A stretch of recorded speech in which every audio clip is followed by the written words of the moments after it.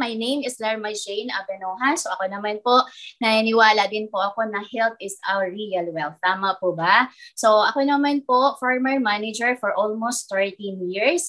And kaya naman po ako dito, pinapakilala po sa inyo kasi isa rin po ako sa makakatulong po sa inyo the moment na mag-start po kayo ng inyong negosyo din. So ako din naman po, full-time ko na po ginagawa yung ating business. So ako naman, sobrang dami ko pong sakit. Hindi ko na po isa-isahin yung cause ng aking mga sakit na baka po hanggang bukas na po ako matapos. Pero kasi itong mga sakit ko po, nag-start lang po ito mula po ako na ay na, uh, na-promote from executive secretary after three months na nasa office po ako niyan. So na-promote promote pa ako as manager, that time po kasi ah, nagkaroon po ako ng iba't ibang sakit. Actually, before po ako maging manager, meron na po akong maramdamang sakit. Meron na kasi ako na-diagnose na po ako na meron akong goiter, meron po akong myoma. Pero kasi that time po kasi wala po akong mga symptoms na naramdaman. So, hindi ko lang po talaga si pinapansin. So, lahat ng mga sakit na yon nag-trigger po yun one day kasi dahil din po sa working habit ko, yung working habit na pagdating po sa office, ah, kakape ka lang, tapos hindi ka na po makakain. So, yung late na po yung lunch mo, late din po yung break, ah, yung dinner mo, at the same time po, late din po ako nakakauwi. So yung tulog ko po talaga, umaabot lang ng 3 to 4 hours a day. So ganun lang po siya, no? So until one day po, ako naman po ay uh, biglang nawala ng malay sa office. So nag-collapse po ako sa office. So yun po yung time na dinala po ako sa hospital. So ito na po yung iba't ibang laboratories ko. So hindi ko na po ito i-explain kasi sobrang dami. Actually, meron pa po nitong 100 pages pa. So konti lang po yung nilagay ko po dito sa sobrang dami po ng sakit ko, no? So, ito naman po yung time uh, nakilala ko po yung taong nag-introduce po sa akin ng barley dito. So according po doon sa pinakita ko po ng mga laboratories, ako po ay meron pong myoma for 8 years na. Meron po akong vertigo na iniinda ko po for almost 5 years na. Tapos syempre dati po before ako ma-promote ay may glitter na po ako dahil hereditary po yan sa family namin. Pero kasi that time po, yung mga laboratory ko po that time ay dalawa lang, tatlo lang. Pero ngayon po, nag-trigger po siya. So dumami po yung mga nodules ko po. I have 50 nodules nodules. Could you imagine na meron akong 50 nodules dito sa aking liig?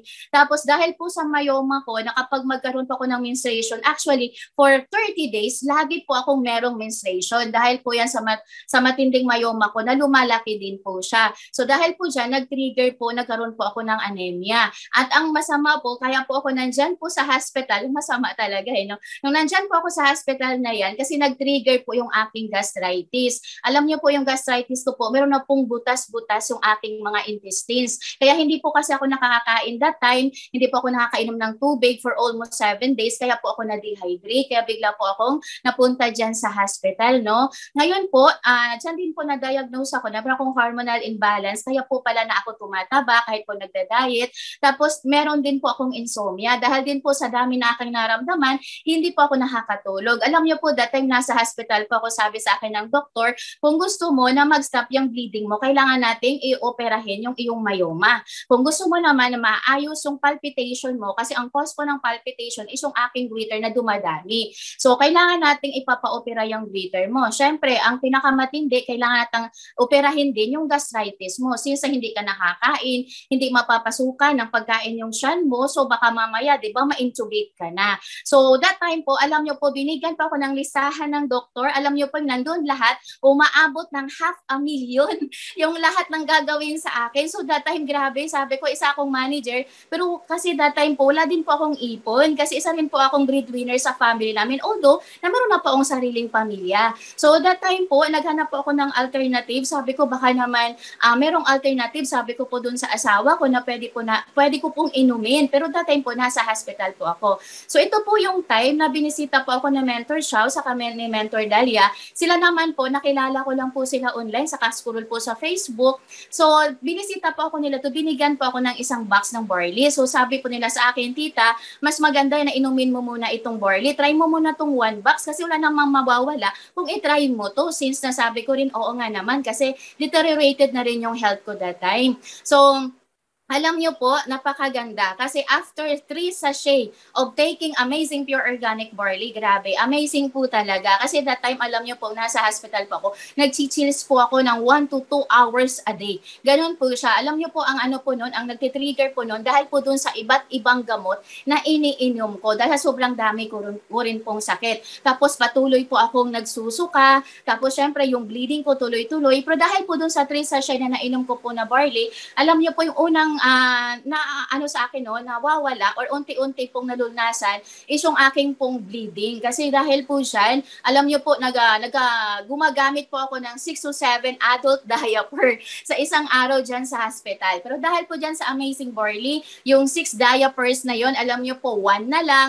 Tapos unti-unti pong nalunasan yung aking pagsusuka. Tapos unti-unti na rin pong naaayos yung aking vertigo. And to make the story short, nakauwi po ako ng bahay and patuloy patuloy ko pong iniinom yung barley. Actually, that time, wala rin naman po akong pera para pang-join kasi sabi ko nga po, di ba, nasa hospital na po ako. Pero ginawan ko po siya ng paraan para makapag-join po doon sa pinakamalaking package kasi sabi ko pong ganun, pag doon ako sa hospital, di ba, half a million po yung binibigay sa akin na listahan na para gawin yung lahat, na para mawala po yung lahat ng sakit. Tapos ang daming surgeries ang gagawin sa akin. So iniisip ko, for sure, hindi din po ako makakatrabaho. So ang ginawa ko po, kumuha po ko ng pinakamalaking package package that time. Tapos tuloy-tuloy ko lang po iniinom po yung barley. Alam niyo po, iniinom ko po yung barley 10 sachet po or 1 box uh, a day yung iniinom ko po.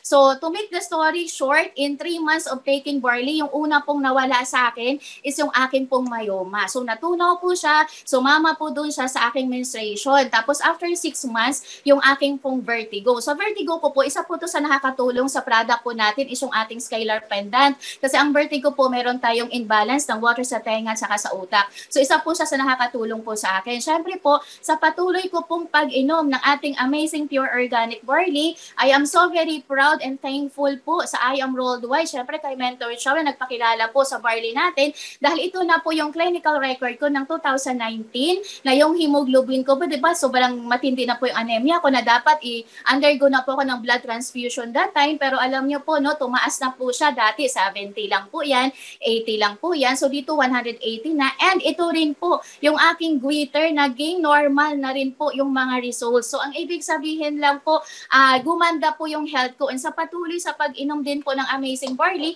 ito na po yung 2019, yung last po na check-up ko na hindi ko po makakalimutan na umiiyak po ko doon sa clinic kasi po yung aking gastritis na dapat po sobrang daming operation na gagawin sa akin, di ba? May butas-butas na po yung aking intestines. Pero dahil po sa Amazing Barley, wala na pong operasyon na nangyari po sa akin. Yung aking pong intestines, automatic lang po. Automatic talaga, no? Nag-heal na po siya. So dito lang po po, gusto ko lang din pong iwanan sa inyo na for I am the Lord who heals you. Siyempre po, kailangan lang po na meron ka pong faith no, sa product na iniinom, nyo, iniinom mo. And siyempre, take note po, nakainom na po ako ng iba't ibang variety po ng barley before. Pero kasi sabi ko nga po, itong uh, barley na uh, ini-introduce po namin sa inyo is the best barley in the world. So yan po yung mga na, na, na lunasan ng barley po sa akin. Siyempre, ito din naman gusto ko pong iwanan sa inyo. Health is not valued till sickness comes. Sama po ba? Kasi before po, na-diagnose na po ako, di ba, na meron pa po akong myoma, meron na po akong goiter, pero kasi hindi ko lang po siya pinapansin na always sinasabi ko lang, next month na ako magpa-check up, next week na ako magpa-check up, pero without knowing pala, yung uh, health na napabayaan mo, lalo pala po no, lumalala. So, ito lang din po, ang na-realize ko na nasa hospital ako, alam niyo po, there are so many people there na alam niyo mas bata pa po sa akin, pero marami din pong sakit. Yung number one, din po ng sakit stress. So that time po, na-realize ko na hindi ko po pipiliin yung aking position, although malaki sweldo, maganda yung position, over my health. Kasi sabi ko pong ganun, kung babalik pa rin po ako doon sa trabaho ko, ganun at ganun pa rin po ang mangyayari po sa akin. Kaya ang good news po, final time ko po si I Am Worldwide after 8 months. At syempre po, habang nagpapagaling ako, sinasabay, sinasabay ko rin na ginagawa po yung ating negosyo. At ito na rin po yung aking uh, achievements po dito doing I am Rolled Wise, so nagkaroon po ako ng house and lot na dati pong manager, wala naman akong bahay. Nagkaroon po ako ng Everest po dito and nakarang up. Syempre, meron din po tayong millions na nakinita po dito sa system saka sa products. Kung paano naman po yan, yan naman po ang i-explain further po ni Mentor Luna po sa inyo na dapat po ninyong patapusin. At ito lang din po ang iwanan ko po sa inyo. No? So thank you so much. To God be all the glory. This is Lerma Jane Abenoha and I am Rodway.